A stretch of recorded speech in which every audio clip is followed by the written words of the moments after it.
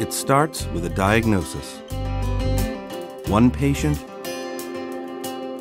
one family.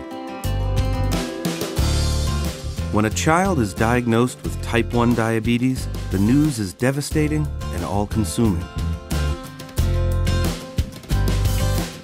But JDRF families tend to find each other for support. And in turn, the disease becomes much bigger than one family.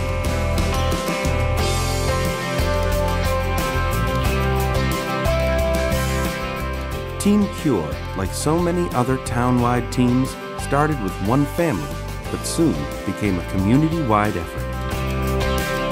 JDRF was founded by a group of parents who were desperate to rid their children of type 1 diabetes. That passion and strength in numbers continues today, inspiring compassion, instilling hope, getting us closer to a cure.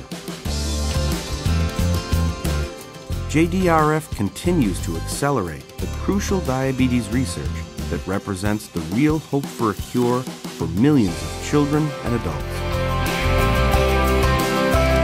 Thank you, Team Cure, and all of our Walk families for your untiring motivation and support of JDRF's mission.